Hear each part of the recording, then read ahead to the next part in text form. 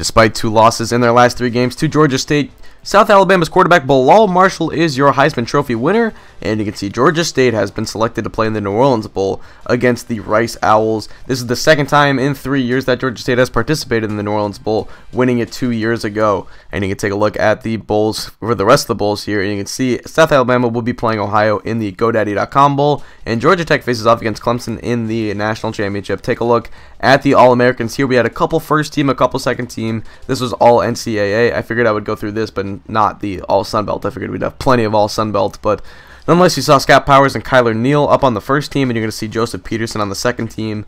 So we uh, were pretty well represented. The freshman we did get Paul Walker on there, our freshman stand on wide receivers, so that was good to see. And I don't think oh we did get Antonio Huff on there in the defensive back or in the secondary, so that's good well represented on the All Americans. That is always nice to see. And we're playing Rice in the New Orleans Bowl from a New Orleans, Louisiana, in the Mercedes-Benz Superdome. Like I said, second time in three years that we've been here, and we're looking forward to hopefully another victory. It'd be nice to win two bowl games in three years. We did lose last year to the B to the Auburn Tigers in the BBVA Compass Bowl. Miles Morris is out this week and for the next three weeks, although it won't really matter. He's basically out for the season with a broken collarbone that he did suffer in the conference championship. And you can see they're going to miss their wide receiver Dennis Parks. So let's get this underway. The Rice Temple Owls and the quarterback Travis Jackson going to drop back on third and 10. He gets rushed, and we came out in our nickel formation. That led to Scott Powers being an edge rusher, and he comes off and makes the nice tackle right there. For the sack, Cameron Melton the ensuing punt return. Nice return right here for about 12 yards. Gets inside of the 35-yard line. We're going to take over Ben McLean on third and 10. Going to drop back. He's looking deep, and that was a great undercut of the route by Blasingame. He makes the interception. That's going to be the first turnover of the ball game for either side. Rice will take over. Now about on their 50 or so. Here we go. Travis Jackson going to drop back, looking for Russell Washington over the middle. He would be brought down by Ladarian Young, but not before he picks up 28 yards on the reception. So now third and 10, I formation. Jackson going to drop back, looking left side. That's caught by Washington. End zone touchdown, a 21-yard touchdown for Russell Washington from a beautiful pass from Dreyfus Jackson. That is going to give Rice the lead, the first lead of the game for either side with 127 to play in the first quarter. Take a look at the replay. Great catch from Russell Washington. Just completely beat our man off of the play. We're going to miss Miles Morris, that's for sure. Miles Morris is a pretty pretty good player for us in our secondary, and having to substitute in someone for him, that's going to be a, uh, a tough thing to overcome. But Kyler Neal picking up that nice seven-yard carry. Now McLean looking right side, caught by Rufus Warren. He's going to spin around this defender and pick up the first down, as well as about seven yards on the play. So now inside of a minute to play in the first quarter, shotgun set. McLean is going to drop back, looking right side, caught by Paul Walker on the route. Breaks a tackle and picks up a nice 20-yard gain. That's going to get us inside of the 40-yard line. Now shotgun set McLean going to look to go deep once again. He's been intercepted once doing this, and that was just a pathetic throw right there. A terrible throw. Completely overthrew the guy. There was a tight window to fit it in there, and man, did Ben McLean miss that. I will take the blame for the first interception, but not for that one, and that was just an awful throw from Ben McLean. So third and 11 for Travis Jackson on the Rice Owls in the ensuing drive. Looking right side, almost intercepted by Robert Dowling, but that will force fourth down. They're going to punt it away. We take over 7.47 to play in the second quarter. Hand off to Kyler Neal, six-yard carry for the sophomore standout. Here we go, second and four. It's going to be a read option. McLean will keep this one. Sheds off his own tackle, and he ends up fumbling. He tried to dive for the first down, and Furman stripped him. The same man who just got the last interception gets the fumble, the strip, and the recovery. So here comes Rice taking over from about the 35-yard line. Travis Jackson on third and eight fires this one deep, and it is off the hands of Russell Washington and into the lap of Ladarian Young. We catch a break right there. Washington almost had a clear touchdown right there, but we'll take it. We get the ball back. Six minutes to play, second and six. McLean going to drop back, take a deep drop back here. Finally fires, and that's going to be caught by Ross Jackson for the first down, a 12-yard gainer for the for another sophomore stand. We have a lot of good sophomores on our team. Our recruiting class from a couple years ago. Looking pretty good right up about now, but Paul Walker down the sideline. He's going to get inside of the 30-yard line on a nice catch and run from the freshman, all-NCAA freshman, first team, of course. And now here we go. Ross Jackson is going to make the curl route catch right there, pick up nine yards. That's going to set up third and two. We're going to get the first down later on. Now first and 10. Left side, Jackson wide open, breaks the tackle and picks up the touchdown. A 13-yard touchdown reception for Ross Jackson. And we are back in this ballgame as we will tie it up after the ensuing PAT. Take a look at Ross Jackson celebrating with his teammates as always. So here we go now.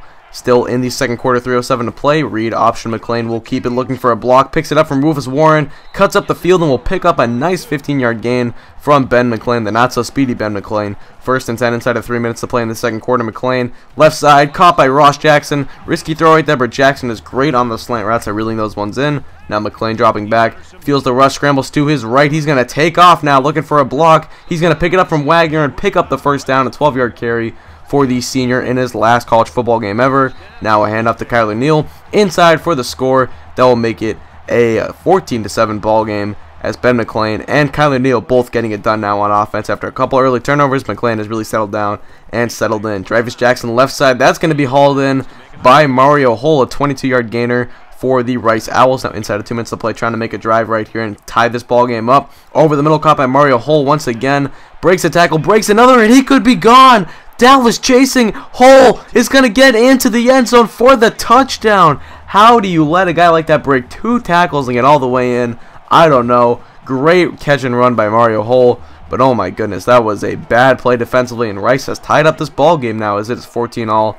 Here we go now. Ben McLean going to drop back first and 10. He's going to look deep here. He's got a man, and it's going to be caught by Paul Walker. Broke the press coverage. It turned out to be a zone press, which is never a good idea when you're running or when the opposing team's running four verticals. So here we go, McLean looking left side, caught by Justin Wagner on the down and out. Wagner's going to break a tackle, almost get in. That'll set up first and goal from about the one yard line after the 21 yard pickup. Now we're going to go play action here. McLean scrambling to the right. He's going to flip this one to Kyle Rucker, the fullback.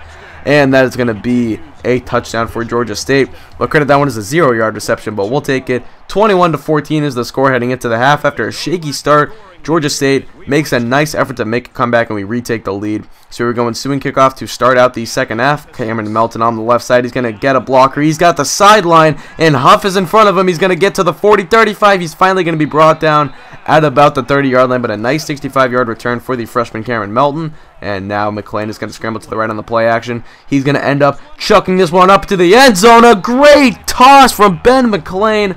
Perfect touch on that one throwing it over the defense, finding Ross Jackson who got himself behind the defense, and that is going to make it now a 28 to 14 game ensuing drive for Rice. Dreyfus Jackson on the read option breaks a couple tackles right here and picks up the first down on the 10 yard rush. Now first and 10 for Dreyfus Jackson. He's going to end up scrambling, stepping up in the pocket. He will evade the rush, but he fumbles. It is recovered by Connor Sella or Kell. I think it's Sella, but I don't know.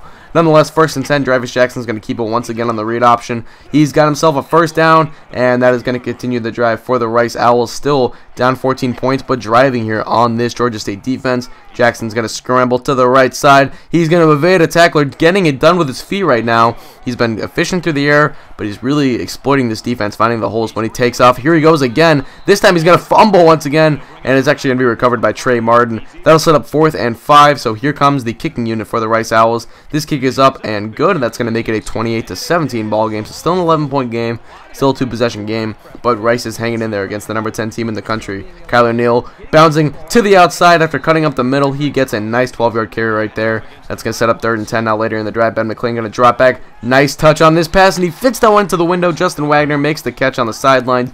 Looks like the defender could have made a play on that, but we'll take it nonetheless. Now looking deep. Beautiful throw. That is a dime if I've ever seen one. Right into the hands of Kyler Neal, right over the linebacker. Great pitch and catch. Now McLean feeling the rush, chucking it deep. Now, I will admit, we got a little bit lucky right there. That's going to be another 26-yard touchdown for Justin Wagner. McLean with four touchdowns on the day. He has really stepped it up after a slow start, committing three turnovers in the first quarter. But here come the Rice Owls. They need to get something going if they want to stay in this ball game.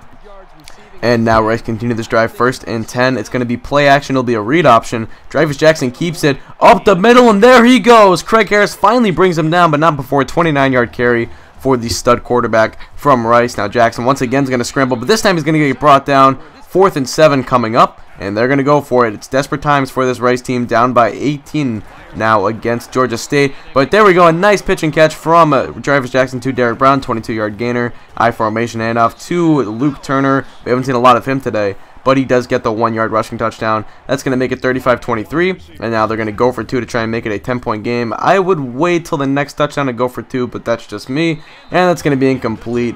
Nice play on the ball by Antonio Huff. That's going to set up now a 12-point lead for the Georgia State Panthers now, and they're going to look deep. Here we go, and Justin Wagner getting behind the defense once again. He's done a great job of getting open all game long. The play action's been there. We've been running the ball effectively in the second half, and that has really opened up the play action pass, something that I have not taken advantage nearly enough in recent games. But here we go, Kyler Neal up the middle, picking up the first down. Nice. Actually, he's not going to pick up the first down, excuse me, but he gets 10 yards. Great piece of running right there from Neal. Now it's going to be McLean on the read option keeper. He's going to end up getting spun around right there, but picks up 7 yards. First and goal now inside of the 5, and it looks like a touchdown here could put this game away. It'll be enough to kneel to the outside. He's got a block. Check out the great block by the offensive lineman right there.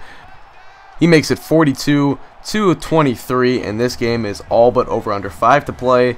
Georgia State with the ensuing PAT will go up by 19 points. That is three possessions, not nearly enough time, unless a miracle can happen for Rice to come back. But Travis Jackson can do all he can looking over the middle. That is going to be caught by his man Alaka right there. Some interesting names on this Rice team. Tammy Alaka with the 29-yard gainer. Now Jackson looking over the middle, caught by Russell Washington. And Washington is off to the races. He's going to get brought down at about the 15. But a nice catch and run. Here we go. Jackson going to drop back now over the middle, caught by Mario Hull. And Hull is going to just get stopped short of the end zone.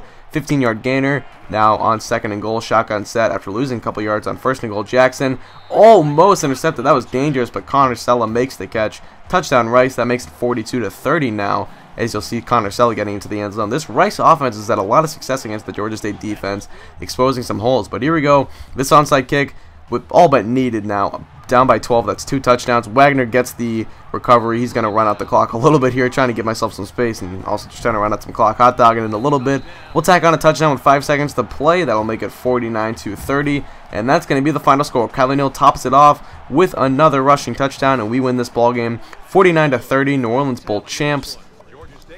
And that's going to do it for me. I'll leave this stat line up for you guys. But that's going to do it. I want to thank you guys for watching. Hope you did enjoy. And it doesn't matter.